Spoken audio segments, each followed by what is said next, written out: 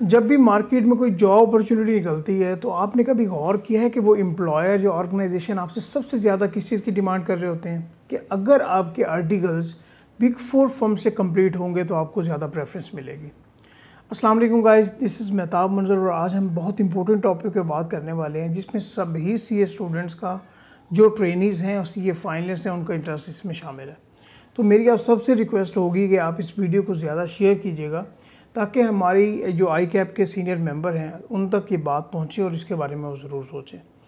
आपने आज ये काम करना है कि आज जो जॉब एडवर्टीज़मेंट्स होती हैं, कुछ आपने देखनी है वेबसाइट्स के थ्रू या डिफरेंट फेसबुक ग्रुप्स में, या किसी तरीके से भी आप लिंकडिन से अगर आप देखें तो आपको ये देखने को मिलेगा कि तकरीबन 90 परसेंट केसेस में ये होता है कि उस एडवर्टीजमेंट में ये लिखा होता है कि आपके आर्टिकल्स बिग फोर फर्म से अगर होंगे तो उनको प्रेफर किया जाएगा। साथ बाकी चीज़ें भी होती हैं, जिस तरह ई e का नॉलेज है एडवांस एक्सेल है, आपका जो कम्युनिकेशन स्किल्स है ज़्यादा बेहतर हो। बट उसमें सबसे इंपॉर्टेंट क्राइटेरिया ये होता है कि आपके आर्टिकल्स बिग फोर फर्म से कंप्लीट हो। तो इसमें से वो स्टूडेंट्स वो ट्रेनिंग स्टूडेंट्स जिनके आर्टिकल्स बिग फोर फर्म से नहीं हैं, वो तो अप्लाई नहीं ना कर सकते यहाँ पे।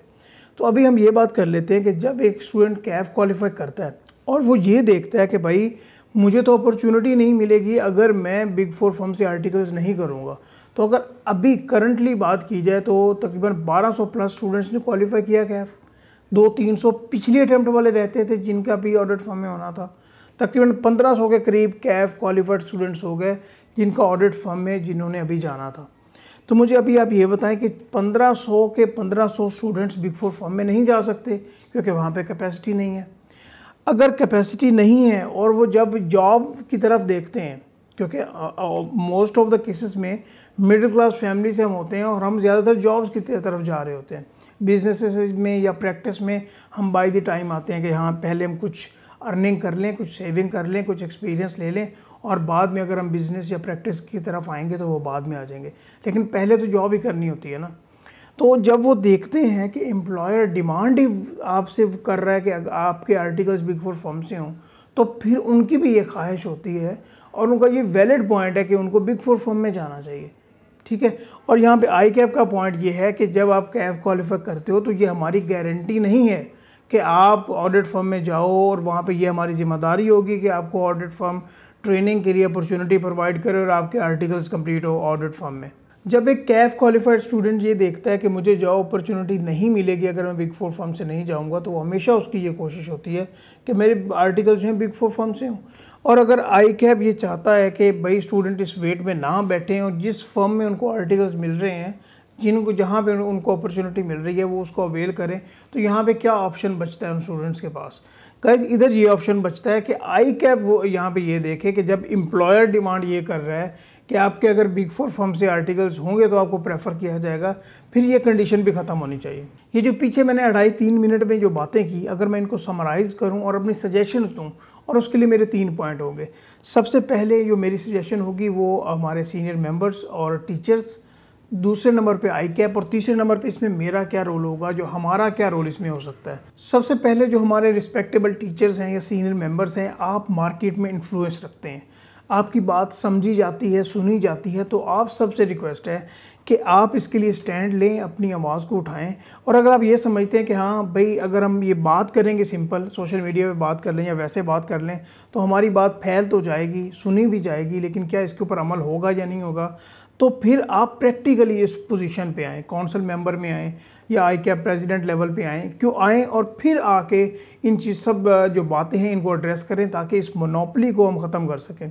दूसरा जो पॉइंट है वो आई कैप का, आप देखें कि आई कैप जो हमारा एक इंस्टीट्यूट है, दुनिया में तकरीबन पंद्रह इंस्टीट्यूट हैं जो चार्टर्ड अकाउंटेंट्स प्रोड्यूस कर रहे हैं, उसमें से एक पाकिस्तान है। और अगर हम बातों बातों में नहीं प्रैक्टिकली रियल स्नैरियो में हम अपने चार्टर्ड अकाउंटेंट्स को टॉप पे लेके आना चाहते हैं तो यहाँ पे आई कैप को क्या करना होगा? और आई कैप बहुत अच्छे स्टेप्स ले रहा है। ये नहीं, मैं आई के प्रेजिडेंट्स की जो हम, हमारे सेमिनार्स होते हैं, मैं उनको देख रहा होता हूँ फॉलोअप कर रहा होता हूँ, और बहुत ही अच्छे स्टेप्स लिए जा रहे हैं। लेकिन यहाँ पे और भी, यहाँ पे बेहतरी की ज़रूरत है। वो किस तरह? कि अगर आई कैप अपने खुद इंस्टीट्यूट्स बनाए, और ख़ुद इंडक्शन प्रोसेस में आए, एक तो जो फीसेस का मामला है, अगर लाहौर की बात की जाए तो बहुत ज़्यादा फीसेस हैं, कराची की बात की जाए तो वहाँ डिफरेंट फीसेज हैं, इस्लामाबाद में डिफरेंट फीसेज हैं। तो एक तो ये स्कूल्स की जो मोनोपली है डिफरेंट स्कूल्स की, वो ख़त्म होगी स्टूडेंट्स का जो इंटरेस्ट है, वो इसमें बेहतर होगा। जिस तरह आई सी में पाकिस्तान है, उनके अपने इंस्टीट्यूट्स हैं, वो खुद कोचिंग प्रोवाइड करते हैं। और जब आपका पहले इतना अच्छा एग्जामिनेशन का सिस्टम है, जब आप खुद कोचिंग प्रोवाइड कर रहे होंगे, फिर आपका अपना एग्जामिनेशन सिस्टम होगा और फिर आप इंडक्शन के प्रोसेस को भी खुद मॉनिटर करेंगे।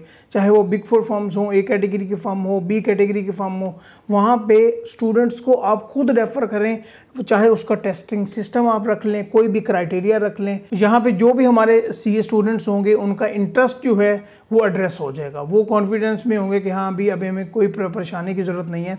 आई कैप है जो हमें ये एजुकेशन भी प्रोवाइड कर रहा है इंडक्शन के मामला को भी देख रहा है और जब वो इंडक्शन के मामला को देखे, बाद में हमारी ट्रेनिंग कंप्लीट हो इवन जब हमारे मेंबर क्वालिफाई करते हैं तो आई कैप अभी भी उनको फॉलोअप करता है। जॉब पोर्टल पे उनको बता रहा होता है कि यहाँ पे वैकेंसी अवेलेबल है।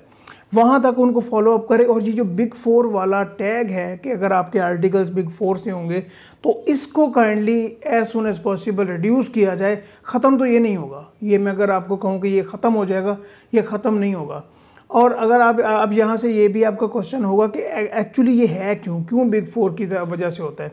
देखिए मल्टानेशनल कंपनीज़ हो, और ये मेरा खुद का एक्सपीरियंस है। जब मैं अपने ड्यूरिंग आर्टिकल्स मल्टानेशनल कंपनी एक दो में मेरा एक्सपीरियंस हुआ तो वहाँ पे ज़्यादातर जो लोग थे, वो बिग फोर फर्म्स से थे। तो वो ज़्यादातर प्रेफर ही बिग फोर फर्म्स के ट्रेनिज को कर रहे होते हैं। अगर उनको गवर्नमेंट के लिए कोई रिसोर्स रिक्वायर्ड होता है, या जॉब के लिए रिक्वायर्ड होता है तो ये एक इम्पोर्टेंट फैक्टर है जिसको एड्रेस करने की अशद ज़रूरत है। और इसमें हमारा क्या पॉइंट होगा? इसमें मैं क्या कर सकता हूँ? हम सब क्या कर सकते हैं?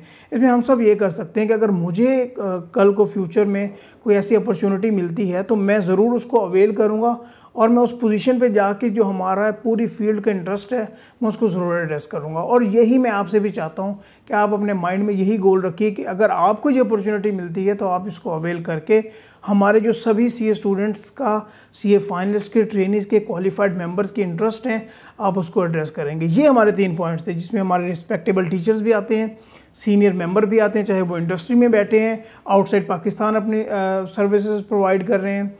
उसके अलावा आई कैप की जो सजेशन है, अगर हम अपने इंस्टीट्यूट को टॉप ऑफ़ द लाइन लेके आना चाहते हैं, बातों में नहीं प्रैक्टिकली और जो हमारा पॉइंट है, ये तीन पॉइंट बड़े इंपॉर्टेंट हैं।